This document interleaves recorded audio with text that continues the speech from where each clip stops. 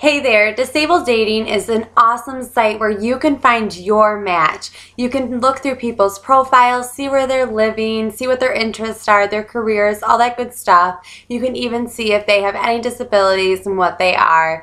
It's such a great website and I am so pleased with the person that I have found. So you guys have to check out Disabled Dating. I know you'll find your match just like I did and I refer it to anyone.